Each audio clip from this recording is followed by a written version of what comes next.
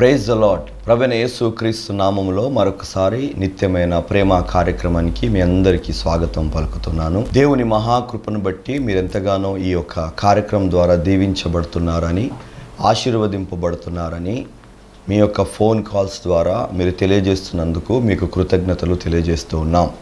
మీకు ఇంకా ప్రార్థన అవసరతలు ఏమైనా ఉన్నట్లయిదుంటే మీరు ఈ కార్యక్రమం ద్వారా దీవించబడుతున్నట్లయిదుంటే స్క్రీన్ మీద ఇవ్వబడిన నంబర్కి కాల్ చేసి మీరు తెలియ చేయగలరు.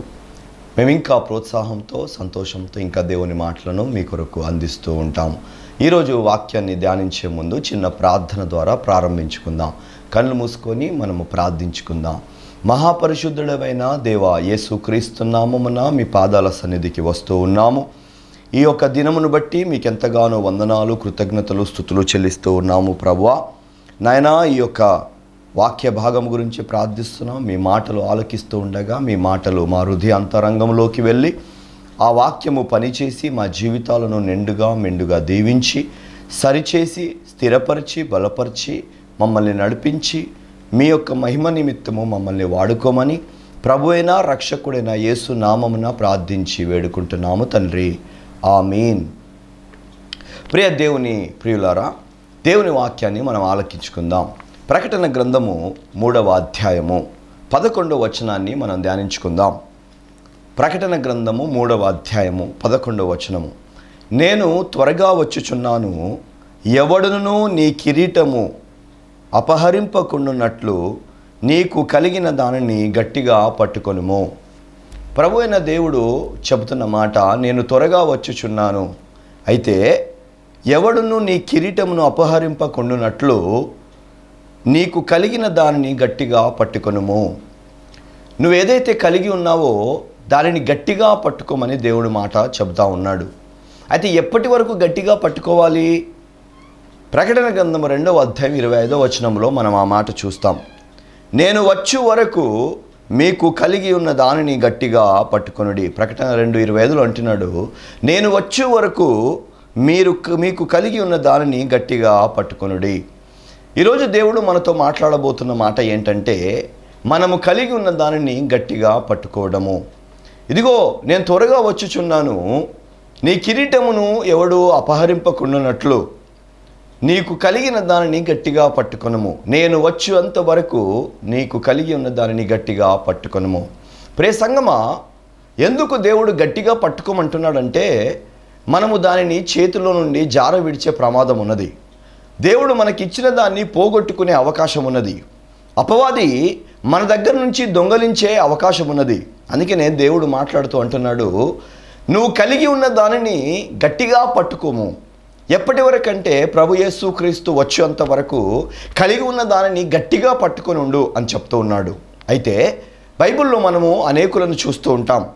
బైబిల్ మనకు సెలవిస్తుంది ఒక స్త్రీకి పది వెండి నాణెములు ఇవ్వబడినాయి. అయితే ఆ స్త్రీ అంట ఒక నాణెమును పోగొట్టుకున్నది. అయితే ఆ వెండి నాణెము దొరికేంత వరకు వెతుకుతూనే ఉన్నది. ఎప్పుడైతే దొరికిందో అప్పుడు సంతోషపడింది. అంటే పోగొట్టుకునే ప్రమాదం ఉన్నది. పాలిస్తాను దేశ సాంప్రదాయ ప్రకారము ఎవరైనా స్త్రీ ప్రదానం చేయబడినప్పుడు ప్రదానం చేసుకున్న అతను తనకి పది వెండి నాణెములను ఒక ప్రత్యేకమైన ముద్ర ద్వారా వారి యొక్క నొసటికి కట్టి వెళ్ళిపోతారు. అంటే మళ్ళీ వివాహము జరిగేంత వరకు ఆ స్త్రీ ఆ నాణెములను చాలా జాగ్రత్తగా కాపాడుకోవాలి. ఒకవేళ ఏదైనా ఒకటి పోగొట్టుకున్నది అనుకోండి అప్పుడు ఆ ప్రధానము చేసుకున్నవాడు పెళ్ళి చేసుకోడు. అంతేకాకుండా వేరే ఎవరు కూడా ఆ అమ్మాయిని పెళ్ళి చేసుకోకూడదు ఆమె అలాగే ఉండిపోవాలి. ఎందుకంటే ఈమెకు జాగ్రత్త లేదు. ఎందుకంటే ఈమెకు ఇవ్వబడిన దానిని ఈమె భద్రపరచుకోలేదు కాపాడుకోలేదు నిర్లక్ష్యంగా ఉండి ఆమెకిచ్చింది ఆమె పోగొట్టుకున్నది. అందుకనే దేవుడు ఈరోజు అంటున్నాడు నీవు కలిగి ఉన్న దానిని గట్టిగా పట్టుకునుము. నేను వచ్చేంత వరకు దానిని గట్టిగా పట్టుకునుము. ప్రే సంగమా నువ్వు కలిగి ఉన్న ఆత్మ సంబంధమైన ఏదైనా పొట్టు పోగొట్టుకునే ప్రమాదం ఉంది గనుక నువ్వు చేతిలో నుండి అది జార విడుచుకునే ప్రమాదం ఉంది గనుక నువ్వు కలిగి ఉన్న దానిని గట్టిగా పట్టుకోమని దేవుడు చెప్తా ఉన్నాడు. నువ్వు కలిగి ఉన్నది ఏం కలిగి ఉన్నావు? పన్ పది వెండి నాణెములు కలిగి ఉన్నావా? దానిని నువ్వు గట్టిగా పట్టుకో. పది ఆజ్ఞలను అనుసరించే గొప్ప వ్యక్తిత్వం కలిగి ఉన్నవా? దాన్ని గట్టిగా పట్టుకో. ఒక మంచి సంఘములో ఒక మంచి సేవకుడితో పాటు సత్సంబంధాన్ని కలిగి ఉన్నావా? గట్టిగా పట్టుకో. ఒక సంఘములో నువ్వు నాటబడి ఆ సంఘము మంచి సొత్తువా కలిగి ఆ సంఘము నిన్ను అన్ని విధాలుగా ఆధ్యాత్మిక జీవితంలో బలపరుస్తున్నదా? అయితే ఆ సంఘాన్ని ఆ సంఘ సేవకులను గట్టిగా పట్టుకో. సేవకులను పోగొట్టుకోవద్దు. చాలామంది ఈరోజు సేవకులను పోగొట్టుకుంటున్నారు. జన్మనిచ్చిన సేవకులను పోగొట్టుకుంటున్నారు. వాక్యము చెప్పిన సేవకులను పోగొట్టుకుంటున్నారు. ప్రసంగం మా బైబిల్ చెబుతుంది సవులు గాడిదలను కాచుకుంటూ ఉండగా సమూహలు వచ్చి అతన్ని అభిషేకించి దైవ సేవకుడు అభిషేకించి రాజుగా చేసి సింహాసనం ఇచ్చి కిరీటం ఇచ్చి ఆధిపత్యాన్ని ఇచ్చినప్పుడు దేవుడు చెప్పిన మాట అనుసారంగా సౌలు నడుచుకోలేక బైబిల్ చెప్తుంది ఏదైతే యుద్ధానికి వెళ్తున్నావో అక్కడ ఏది తీసుకురావద్దంటే అక్కడున్న ఎడ్లను గొర్రెలను అక్కడున్న మంచి పశువులను స్త్రీలను అక్కడి నుంచి తీసుకొచ్చినట్టుగా మనం చూస్తున్నాం. అయితే అప్పుడు సమూహలైన దైవ సేవకుడు అంటాడు నువ్వు దేవుని చిత్తానుసారంగా చేయలేదు గనక ఇదిగో దేవుడు మరొకరు వ్యక్తిని రాజుగా ఎన్నుకున్నాడు. అంటే ఆ దైవ సేవకుణ్ణి దేవుని మాటలకు విధి లోబడకుండా ఉండడం వలన దైవ సేవకుణ్ణి సౌలు పోగొట్టుకున్నాడు. చాలామంది లోబడ తత్వం లేకుండా ఎదిరించి చాలామంది సేవకులను పోగొట్టుకుంటున్నారు. ప్రే సంగమా ఒక మంచి ప్రార్థన చేసి దైవ సేవకుడు నీకున్నాడా? గట్టిగా పట్టుకో విడిచిపెట్టొద్దు. ఒక మంచి సలహాలు ఇచ్చే నీకు అన్ని విషయాలుగా ఆదుకునే నిలబడే ఒక దైవ సేవకుడు నీకున్నాడా? మంచి ఆత్మీయ తల్లిదండ్రులు దేవుడు నీకు ఇచ్చాడా వారిని గట్టిగా పట్టుకో వారిని నువ్వు పోగొట్టుకొనవద్దు. సౌలు ఆ యొక్క దైవ సేవకుడిని పోగొట్టుకున్నాడు. బైబిల్ చెబుతా ఉన్నది ఏంటంటే దానును మొదలుకొని బెర్షాబా వరకు అతని లాంటి ప్రవక్త ఇంకొకడు లేడంట. అయితే అలాంటి ప్రవక్తను సౌలు పోగొట్టుకున్నాడు. అయితే ఏం జరిగింది? సౌలు జీవితం అంతా అంధకారం అయిపోయింది ఎప్పుడైతే దైవ సేవకుని పోగొట్టుకున్నాడో చీకటిలోకి వెళ్ళిపోయాడు. దైవ సేవకుని పోగొట్టుకున్నాక ఏం చేస్తాడో ఇక్కడికి వెళ్ళాలో ఏ యుద్ధం గెలుస్తాడో ఏం లేదు అంత టెన్షన్ కన్ఫ్యూజన్. బైబిల్ చెప్తున్నది సౌలు జీవితం అంతా అంధకారం అయిపోయి సింహాసనం పోగొట్టుకుని రాజ్యం పోగొట్టుకుని కుటుంబం అంతా ఒకేసారి గిల్బోవా పర్వతం మీద మరణించారు అనే బైబిల్ మనకు సెలవిస్తూ ఉన్నది. ప్రేసంగమా దైవ సేవకులను పోగొట్టుకునవద్దు. అయితే కొన్నిసార్లు సేవకుడు నిన్ను గద్దిస్తాడు. నువ్వు తప్పు చేసినప్పుడు నిన్ను హెచ్చరిస్తాడు. హెచ్చరించాడని గద్దించాడని నువ్వు దైవ సేవకుని వదులుకోవద్దు. సౌలు జీవితాన్ని దౌదు జీవితాన్ని ఇద్దరి జీవితాన్ని మనం ఒక దగ్గర పెట్టుకుంటే సౌలు కంటే దావీదు ఎక్కువ పాపాలు చేసినట్టుగా మనకు కనబడతాడు. దావీదు వ్యభిచారం చేశాడు. దావీదు వ్యభిచారం చేసిన స్త్రీ యొక్క భర్తను చంపించేశాడు. కానీ సౌలు అలాంటి పనులు ఏం చేయలేదు. కానీ దేవుడు దావీదుని ఎక్కువగా ప్రేమించాడు. ఎందుకో తెలుసా? లోబడ్డాడు గనుక. క్షమాపణ కోరుకున్నాడు గనుక దేవుని ముందు ఆయన దైవ సేవకుని దూషించకుండా ఆయన చెప్పిన మాటకు లోబడ్డాడు గనుక. ఎప్పుడైతే వ్యభిచారం చేశాడో ఎప్పుడైతే ఆ దైవ సేవకుడు ఆ యొక్క నాతాను ప్రవక్త వచ్చి దైవ ఆ అబ్రా దే దావిదుతో అంటాడు దావిదా నువ్వు పాపం చేసావు దేవునికి నచ్చలా నువ్వు చేసింది. అనగానే ఇంతమంది ముందు నన్ను అవమానిస్తావా? అని ఆ యొక్క దైవ సేవకుని ఎదిరించలేదు కానీ ఏమన్నాడో తెలుసా? అవును నేనే తప్పు చేశాను నేనే పాపం చేశానని ఒప్పుకున్నాడు అందుకనే దావిదు హెచ్చింపబడ్డాడు. ప్రేసంగమా దైవ సేవకులు నిన్ను హెచ్చిస్తారు నిన్ను గద్దిస్తారు నిన్ను కోప్పడతారు. నువ్వు చేస్తున్నది తప్పు అని నిన్ను గద్దించినప్పుడు నువ్వు లోబడాలి. లోబడకుండా నువ్వు వెళ్ళిపోతే దైవ సేవకుని పోగొట్టుకుంటావు.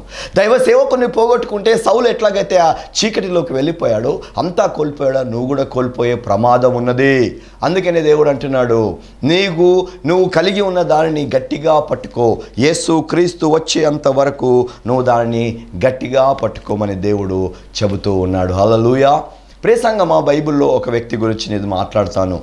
ఆయన కూడా ఆయన కలిగి ఉన్న దానిని వదిలిపెట్టుకోలేదు. ఆయన కలిగి ఉన్న దానిని గట్టిగా పట్టుకున్నాడంట. ఒకసారి ఆ వ్యక్తి ఎవరో చూద్దాం. బైబిల్లో మొదటి రాజుల గ్రంథము ఇరవై ఒకటవ అధ్యాయము ఒకటి నుండి మూడవ వచనం వరకు నేను మీ కొరకు చదువుతాను. మొదటి రాజుల గ్రంథము ఇరవై ఒకటవ అధ్యాయము ఒకటి నుండి మూడు వరకు చదువుదాం. ఈ సంగతులైన తర్వాత ఇజ్రాయేలీలో షమ్రోను రాజైన ఆహాబు నగరున ఆనుకొని ఇజ్రాయేలు వాడైన నాబోదునకు ఒక ద్రాక్ష తోట కలిగి ఉండగా ఆహాబు నాబోతును పిలిపించి నీ ద్రాక్ష తోట నా నగరమునకు ఆనుకొని ఉన్నది గనుక అది నాకు కూర తోట కిమ్మని దానిని ప్రతిగా దానికంటే మంచి ద్రాక్ష తోట నీకు ఇచ్చేదను లేదా నీకు అనుకూలమైన ఎడ ఎడల దానిని క్రయ విక్రము నాకు ఇమ్మని అడిగాను. అందుకు నాబోదు నా పిత్రార్జీతములో నీకు ఇచ్చుటకు నాకు ఎంత మాత్రమును వల్లపడదని చెప్పాను. ప్రే సంగమా ఇక్కడ ఒక రాజు కనబడుతున్నాడు ఒక సామాన్య వ్యక్తి కనబడుతున్నాడు. రాజు నగరానికి ఆనుకొని ఒక సామాన్యుడైన ఒక సాధారణ వ్యక్తి అయిన నాబోదు ద్రాక్ష తోట ఉన్నది. రాజు నగరానికి ఆనుకొని నాబోదికి ఒక తోట ఉన్నది. అయితే రాజు ఏమంటున్నాడంటే నాబోదు నా నగరానికి ఆనుకొని ఉన్న నీ ద్రాక్ష తోట నాకు ఇవ్వు నేను దాన్ని కూర తోటకు వాడుకుంటాను. అయితే దానికి బదులుగా నీకు వేరే తోటనిస్తాను. లేదా దానిని నువ్వు నాకు అమ్మేస్తే దానికి బదులుగా నీకు ఎంత డబ్బు కావాలో అంత ఇస్తాను అని రాజు ఆ సాధారణమైన వ్యక్తితో మాట్లాడతాడు. అయితే ఆ వ్యక్తి ఏమంటున్నాడంటే నా పిత్రార్జీతమును నీకు ఇచ్చుట నాకు ఎంత మాత్రమును వల్లపడదని చెప్పాను. రే సంగమా సాధారణ వ్యక్తి ఇతను అతను గొప్ప రాజు. ఆ రాజు అడిగినప్పుడు ఇతను ఇవ్వాలి. అయితే ఇతను రాజును ఎదురిస్తూ ఉన్నాడు. రాజును ఎందుకు ఎదురిస్తున్నాడు? ఎందుకని రాజును ఎదిరించే ధైర్యము సాహసము చేశాడు అంటే బైబిల్ చెబుతున్నది ఆ రాజు నగరానికి ఆనుకొని ఉన్నది ద్రాక్ష తోట ఇవ్వడానికి ఇష్టపడట్లా. బైబిల్ చెప్తుంది అతను ఇస్రాయేలీ వాడు నాబోదు ఇస్రాయేలీ వాడు. అయితే రాజు అడుగుతున్నాడు నీ తోటను నాకు ఇచ్చేసాయి. రెండు ఆప్షన్లు పెట్టాడు. ఒకటి దానికి బదులుగా నీకు వేరే తోట ఇస్తా లేదా అది అమ్మి వేస్తే నీకు డబ్బు ఇస్తా. అయితే నాబోదు ఒప్పుకోవడం లేదు. నా పిత్రార్జీతము నీకు ఇచ్చుట నాకు ఎంత మాత్రం వల్లపడదని నిక్కచ్చిగా చెప్పేశాడు. మరి రాజును ఎదురిస్తున్నానే నా తల నా శిరస్సు ఖండిస్తారు వీళ్ళు. రాజును ఎదురిస్తున్నానే రాజు నా మీద కోప్పడుకు కోప్పడతాడు. ఆయన ఏమైనా చేయగల సమర్థుడని భయపడట్లా. ఎందుకంటే ఎందుకు ఇలాంటి నిర్ణయం తీసుకున్నానంటే దేవుని ఉపదేశములను దాటి వెళ్ళడం నాబోదుకి ఇష్టం లేదు. దేవుడు చెప్పిన మాటను దాటి వెళ్ళడము నాబోదుకి ఇష్టం లేదు. అసలు దేవుడు ఏం చెప్పాడు? అసలు ఏం చెప్పాడు? ఏమి ఎరిగి ఉన్నాడు? ఎందుకని అమ్మనంటున్నాడు? ఒకసారి చూద్దాం. సంఖ్యాకాండము ముప్పై ఆరవ అధ్యాయము ఏడవ వచనము. ఇస్రాయేలీయులకు శాస్త్రము ఒక గోత్రములో నుండి వేరొక గోత్రములోనికి పోకూడదు. ఇస్రాయేలీయులకు ప్రతివాడును తన తన పితరుల గోత్ర స్వాస్థ్యమును హద్దుకొని ఉండవలెను. ఏమంటున్నాడు చూడండి. గోత్రుల ద్వారా వచ్చిన స్వాస్థ్యమును ఏం చేయాలంట? హద్దుకొని ఉండాలి. మీ పితరుల ద్వారా మీకు కొంత ఆస్తి వచ్చింది. మీ పితరుల ద్వారా కొంత సంపద వచ్చింది కొంత భూమి వచ్చింది దాన్ని ఏం చేయాలంట? దాన్ని హద్దుకొని ఉండాలంట.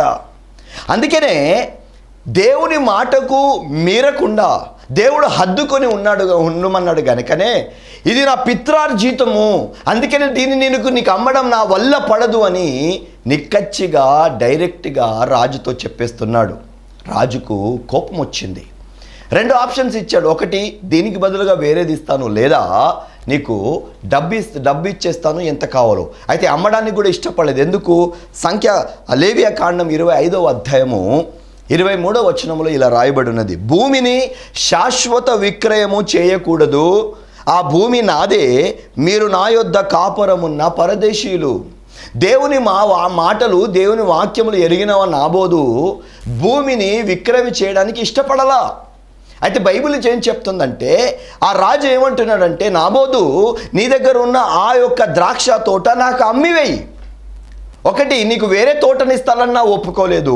అమ్మివేయమన్నా కూడా ఒప్పుకోలేదు. ఎందుకంటే దేవుడు చెప్పిన మాట నాది స్వాస్థ్యం కనుక దాన్ని హద్దుకొని ఉండాలి. దానిని నువ్వు భూమిని శాశ్వత విక్రయం చేయకూడదని బైబిల్ వాక్యంలో చెప్పనే చెప్పాడు.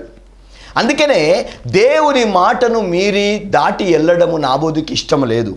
నా ప్రాణాలు పోతాయి రాజును ఎదురిస్తున్నాను నా ప్రాణాలు పోయినా పర్వాలేదు కానీ దేవుని నేను దేవుని మాటకు దాటి వెళ్ళను అని నిర్ణయించుకున్నాడు. అసలు ఏమున్నది నాబోదు దగ్గర అంటే ద్రాక్ష తోట. ఈ ద్రాక్ష తోట ఏం చేస్తుంది? ద్రాక్ష తోట దేనికి సూచనగా ఉన్నదంటే ద్రాక్ష తోట కేవలము జ్యూస్ గురించే పనికి రాదు కానీ ద్రాక్ష తోట గింజల ద్వారా నూనె తయారవుతుంది. అందుకనే ఈ ద్రాక్ష తోట దేనికి సాదృశ్యం అంటే దేవుణ్ణి సంతోషపరిచే మనిషిని సంతోషపరిచే తైలము ఈ నాబోధు దగ్గర ఉన్నది. అందుకనే అది నీకివ్వడము నా వల్ల పడదు అన్నాడు. అంటే దేవుణ్ణి సంతోషపరిచే తైలము తయారయ్యేది తోటను నుండి. అయితే ఈ నాబోదు దగ్గర ఏమున్నది అంటే దేవుని సంతోషపరిచే గుణం ఉన్నది ఆ గుణాన్ని నేను ఎందుకు అమ్మాలి అనే విషయాన్ని మాట్లాడుతూ ఉన్నాడు. అది మర్మం అండి. రే సంగమా దేవుణ్ణి సంతోషపరిచే చాలా లక్షణాలు నీలో ఉన్నాయి. నువ్వు కన్నీరు విడిచి ప్రార్థించినప్పుడు దేవుడు సంతోషపడతాడు. నీవు మనస్సు పూర్తిగా ఆరాధించినప్పుడు దేవుడు సంతోషపడతాడు. నువ్వు దేవునికి ధారాళంగా దాతృత్వంగా దేవునికి నువ్వు ఇస్తున్నప్పుడు దేవుడు సంతోషపడతాడు. చిన్న చిన్న తప్పులు చేసినప్పుడు ప్రభువా ఈ చిన్న తప్పులు చేశాను నాయన అని చిన్న పిల్లవాడిలాగా నువ్వు దేవుని సన్నిధికి వచ్చి తప్పులను ఒప్పుకున్నప్పుడు దేవుడు సంతోషపడతాడు. దేవుడు సంతోషపెట్టే లక్షణాలు నీ దగ్గర ఎన్నున్నాయో? అయితే అపవాదిగాడు సైతానుగాడు వాటన్నిటిని దొంగలించాలని ప్రయత్నిస్తూ ఉంటాడు. ప్రే సంగమా అందుకనే మొట్టమొదటిగా అంటున్నాడు నీవు కలిగి ఉన్న దానిని గట్టిగా పట్టుకో. ఎవడు దానిని అపహరింపకుండానట్లు లాక్కునే అవకాశం ఉన్నది జార విడుచుకునే అవకాశం ఉన్నది సైతానుగాడు దుష్టుడు నీ దగ్గర నుంచి లాక్కునే అవకాశం ఉన్నది. అందుకనే నువ్వు జాగ్రత్తగా కాపాడుకో అంటున్నాడు. ప్రే సంగమా దేవుణ్ణి సంతోషపెట్టే లక్షణాలు నీలో చాలా ఉన్నాయి. చెప్పాను కదా ప్రార్థన చేస్తే సంతోషపడతాడు. ఆరాధన చేస్తే సంతోషపడతాడు. క్రమము తప్పకుండా దేవుని మందిరానికి వస్తున్నప్పుడు సంతోషపడతాడు. అయితే ఈ అపవాదిగాడు ఏం చేస్తాడంటే దేవుని సంతోషపెట్టే ఏ అనుభవాలు నీ దగ్గర ఉన్నాయో వాటన్నిటినీ వీడు కొనుక్కోవడానికి ప్రయత్నిస్తూ ఉంటాడు. వీడు కొనుక్కోవడానికి ప్రయత్నిస్తూ ఉంటాడు. చూడండి బైబిల్లో మనం చూస్తాము సైతానుగాడు ఏమంటాడంటే నీ పరిశుద్ధతను నాకు ఇస్తే నీ అపవిత్ర నేను అపవిత్రతను నీకు ఇస్తాను అన్నట్టుగా మాట్లాడుతుంటాడు. అంటే వాడు బేరం చేస్తూ ఉంటాడు. వాడు మనల్ని పాపంలో పడేయడానికి ప్రయత్నిస్తూ ఉంటాడు. అందుకనే మనం చూడండి మీరు పాత నిబంధనలు చూసినట్లయితే ఎసావు దగ్గర జ్యేష్ఠత్వం ఉండే. ఆ జ్యేష్ఠత్వాన్ని ఏమిచ్చి లాక్కున్నాడో తెలుసా? చిక్కుడుగాయ కూర ఇచ్చేసి లాక్కున్నాడు. యూదా ఇస్కురియోతు అతని దగ్గర అపోస్తలత్వం ఉంది. యేసు ప్రభు మంచి శిష్యుడిగా ఉన్నాడు. కిరీటాన్ని పొందుకునేవాడిగా ఉన్నాడు. అయితే ముప్పై వెండి నాణెములు ఇచ్చి అతని దగ్గర ఉన్న లాగేసుకున్నాడు. సౌలు దగ్గర కిరీటం ఉంది సౌలు దగ్గర ఆధిపత్యం ఉంది అధికారం ఉంది అయితే గొర్రెలనిచ్చి ఆవులనిచ్చి వెండి బంగారాన్ని ఇచ్చి అతని దగ్గర ఉన్న అధికారాన్ని లాగేసుకున్నాడు. ఏదో ఒకటి మనకిస్తాడు మన దగ్గర నుంచి లాగేసుకుంటాడు. ప్రార్థన అనే ద్రాక్ష తోట నీ దగ్గర ఉన్నది. ప్రతిష్ట అనే ద్రాక్ష తోట నీ దగ్గర ఉన్నది. ద్రాతృత్వంగా ఇచ్చే ద్రాక్ష తోట నీ దగ్గర ఉన్నది. ఆరాధించే ద్రాక్ష తోట నీ దగ్గర ఉన్నది. క్రమం తప్పకుండా దేవుని మందిరానికి వెళ్ళే ద్రాక్ష తోట నీ దగ్గర ఉన్నది. దేవుని సంతోషపరిచే ఎన్నో గు మంచి గూఢమైన విషయాలు నీ దగ్గర ఉన్నాయి. లక్షణాలు నీ దగ్గర ఉన్నాయి. అయితే అపవాదిగాడు అది నాకు ఇచ్చేస్తే నీకు వేరేది ఇస్తాను అన్నట్టుగా వాడు లోకంలోకి తీసుకెళ్తాడు. ఉపవాస కా కోడికలు జరుగుతున్నప్పుడు మనం అందరూ ఉపవాసం ఉండాలనుకుంటే వాడేమంటాడు తెలుసా? ఉపవాసం ఉంటే చిక్కిపోతావు బక్కబడిపోతావు ఇమ్యూనిటీ తగ్గిపోద్ది అని తినడానికి వాడు ప్రేరేపిస్తూ ఉంటాడు. ఆదివారం ఆరాధనకు వెళ్ళాలి అని అంటే ఈరోజు ఆదివారం ఆరాధన మానేస్తే నీకు డబుల్ ఇస్తాను కదా నేను జీతము అని ఎవడో ఒకటి ద్వారా మనం పనిచేస్తున్న అధికారుల ద్వారా చెప్పించి మనల్ని ఆరాధనకు రాకుండా చేస్తాడు. ఏదో ఒకటి ఇస్తాడు మన దగ్గర నుంచి తీసేసుకుంటూ ఉంటాడు. పరిశుద్ధతలో ఉన్నప్పుడు అపవిత్రుడిగా చేయడానికి ఏదో ఒక పాపమును నిన్ను నెట్టివేయడానికి చూస్తూ ఉంటాడు. నీ దగ్గర కలిగి ఉన్న లక్షణాలను దేవుని సంతోషపరిచే ఆ గుణాలను గట్టిగా పట్టుకునుము. ఎప్పటి వరకు అంటే యేసు ప్రభు వచ్చేంత వరకు నువ్వు కలిగి ఉన్న దానిని గట్టిగా పట్టుకోవాలి. అలెలుయా ఎప్పటి వరకు పట్టుకున్నాడో తెలుసా ఇతను? నా బోధు నా పితృ పితరార్ జీతం నీకు ఇవ్వడం అస్సలు వల్ల పడదు అన్నప్పుడు ఈ యొక్క రాజు ఏం చేశాడంటే పనికి మాలిన ఇద్దరు మనుషులను నిలబెట్టి సమాజంలో ప్రవేశపెట్టి అబద్ధపు సాక్ష్యము చెప్పించి దేవుణ్ణి ఇతను దూషించాడని రాజును ఇతను దూషించాడని అబద్ధపు మాటలు చెప్పించి రాళ్ళతో కొట్టి చంపించేసేసాడు అయినా చావడానికి ఇష్టపడ్డాడు కానీ దేవుణ్ణి సంతోషపెట్టే గుణాలు ఆ తోటను అమ్మడానికి మాత్రము ఇవ్వడానికి మాత్రం ఇష్టపడలేదు. ప్రే సంగమా క్రైస్తవుడిగా ఉన్న నీవు దేవుని సంతోషపెట్టే గుణాలు అమ్మివేస్తున్నావా? లేదా నీ ప్రాణము పోయినా పర్వాలేదు అని నువ్వు దేవుని కొరకు నిలబడుతూ ఉన్నావా? బైబిల్ చెబుతున్న మాట రెండవ తిముతులకు రాసిన పత్రిక మూడవ అధ్యాయము పన్నెండవ వచనం అంటాడు క్రీస్తు యేసునందు సద్భక్తితో బ్రతకను ఉద్దేశించిన వారందరూ హింస పొందుతురు. నువ్వు సద్భక్తితో బ్రతకాలనుకుంటున్నావా? నువ్వు హింసను పొందుకుంటావు. నువ్వు భక్తితో ముందుకు కొనసాగాలనుకుంటున్నావా? నీ మీద రాళ్ళు విసురుతారు. అబద్ధపు సాక్షులు నిలబడతారు. వీడు ప్రార్థన చేస్తానని ప్రార్థన అంటాడు వీడు ప్రార్థన చేయడు వేరే పనులు చేస్తాడు అంటారు. వీడు పరిశుద్ధుడు అంటాడు పరిశుద్ధుడు కాదు వీడు పాపిష్ఠుడు అంటారు. ఎన్నో నిందలు మన మీద వస్తారు. ఎప్పుడు? నువ్వు ఎప్పుడైతే క్రీస్తునందు సద్భక్తితో బ్రతకాలనుకున్నప్పుడు సంతోషపెట్టే గుణాలు దేవుని సంతోషపెట్టే గుణాలతో బ్రతుకుతూ బ్రతకాలనుకున్నప్పుడల్లా నేను హింసలను పాలు చేస్తారు. మత్తే స్వార్థ ఐదు పదులు అంటాడు నీతి నిమిత్తము హింసింపబడిన వారందరూ ధన్యులు పరలోక రాజ్యము వారిదే. నీకున్న ఆత్మీయతను కాపాడుకోవాలని అనుకున్నప్పుడు నీ దగ్గర ఉన్న ప్రతిష్టతను కాపాడుకోవాలి అని అనుకున్నప్పుడు దేవుని నువ్వు చే సంతోషపెట్టే దేవుని నిబంధనలను మీరకూడదని నువ్వు అనుకున్నప్పుడు దేవుడు చెప్పిన మాట అనుసారంగా నువ్వు నడుచుకోవాలని అనుకున్నప్పుడు నీ చుట్టూ రాళ్ళ దెబ్బలు నీకు మిగులుతాయి. అబద్ధపు సాక్షులు ఎక్కువగా నీకు చెప్పడానికి నిలబడతారు. హింస పొందుకున్నాడు కానీ తనకు కలిగి ఉన్న దేవుని సంతోషపెట్టే ద్రాక్ష తోటను మాత్రం రాజుకి ఇవ్వలేదు. ప్రే సంగమా దేవుడు ఈరోజు మనతో మాట్లాడుతున్నాడు. మనం ఏమి అమ్మేసుకుంటున్నాం? ఏమి ఇచ్చేసుకుంటున్నాం? అసలు దేవుని సంతోషపెట్టే గుణాలను మనం కాంప్రమైజ్ అయిపోయి ఈ లోకంతో పాటు మనం వదిలేసుకుంటున్నాం. ప్రే సంగమా ఒక్కొక్క దాన్ని ఒక్కొక్క దాన్ని పోగొట్టుకుంటున్నాం. దేవుడు ఈరోజు నీతో మాట్లాడుతున్నాడు. కలిగి ఉన్న దాన్నంతయు కూడా నువ్వు గట్టిగా పట్టుకొను. ఎప్పటి వరకు అంటే ప్రభు యేసు క్రీస్తు వచ్చే అంతవరకు. ప్రేసంగం ఇదంతా జరిగిన తర్వాత దైవ సేవకుడు వచ్చాడు. సేవకుడు వచ్చి అక్కడ అంటున్నాడు నా ఆ రాజుతో అంటున్నాడు అబద్ధపు సాక్షులు చెప్పించి ఒక నిర్దోషుని నువ్వు చంపించావు గనక ఎక్కడైతే ఏ రక్తం అయితే నాబోదు రక్తాన్ని కుక్కలు నాకాయో అదే చోట నీ యొక్క రక్తంని కూడా కుక్కలు నాకుతాయని ప్రవచనం చెప్పి వెళ్ళిపోతాడు. దైవ సేవకుడు చెప్పింది చెప్పినట్టుగానే ఆ రాజు ఎవరి ఏ ఈ నాబోతును చంపించినందుకు ఎక్కడైతే చంపించారో అక్కడే ఇతన్ని కూడా రక్తంను కుక్కలు నాకేసి శరీరాన్ని కూడా కుక్కలు సమాధి కూడా చేయడానికి వీలు పడకుండా.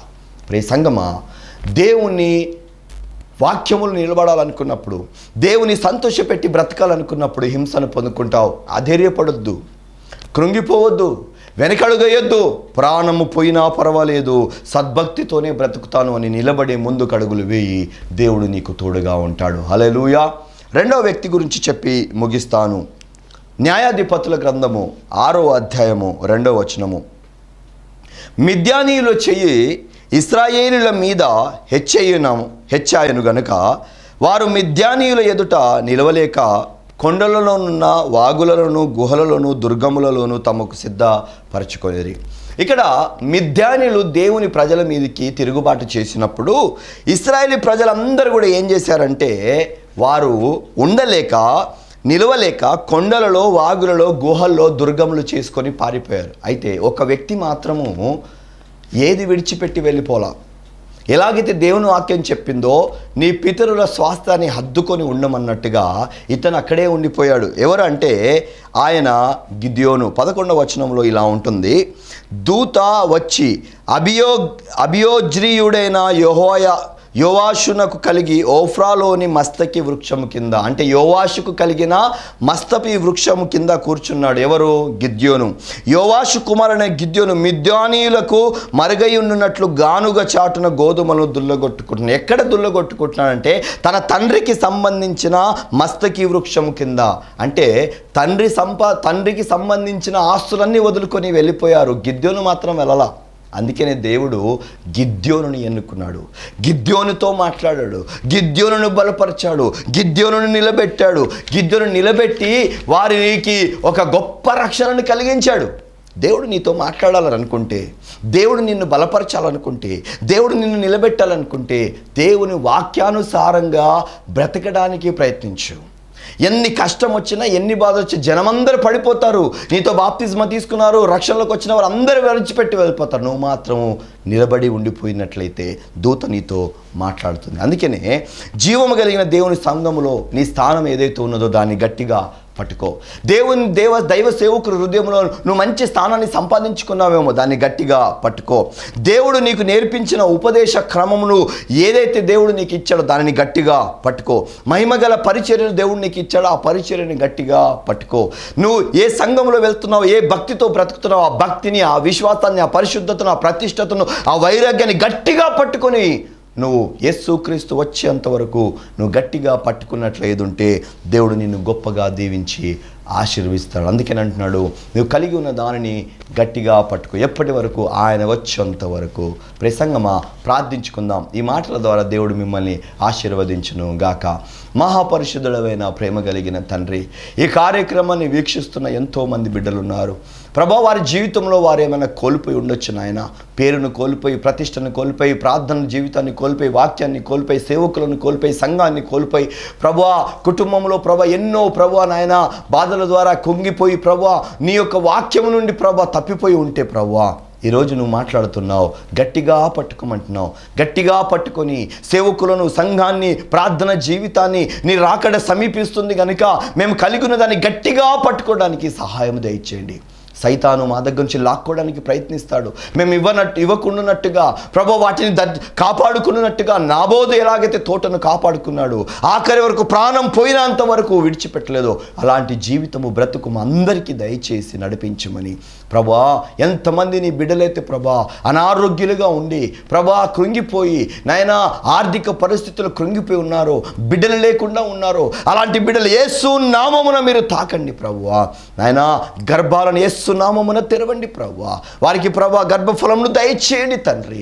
అలాగే ప్రార్థిస్తున్నాం అనారోగ్యులుగా ఉండి హాస్పిటల్లో ఉండి ప్రభా ఎంతమంది అయితే ఉన్నారో యేసు క్రీస్తు నామమున నీ పరిశుద్ధాత్మ వాక్కు వెళ్ళి వారిని తాకి స్వస్థపరిచి ప్రభా వారికి నెమ్మది సమాధానమును దయచేసి నడిపించమని.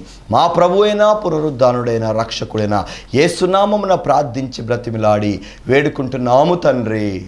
ఆమీన్. దేవుడు ఈ మాటల ద్వారా మిమ్మల్ని బహుగా దీవించి ఆశీర్వదించునుగాక. మీకు ఇంకేమైనా ప్రార్థన అవసరతలు ఉంటే స్క్రీన్ మీద ఇవ్వబడిన నంబర్కి మీరు కాల్ చేసి మీ ప్రార్థన విన్నపాలు తెలియజేయగలరు. ఎవరైనా కార్యక్రమానికి స్పాన్సర్ చేయాలని ప్రేరేపింపబడిన వారు ఉంటే కూడా మీరు కాల్ చేసి మాకు తెలపగలరు. దేవుడు మిమ్మల్ని దీవించి ఆశీర్వదించునుగాక. ఆమెన్.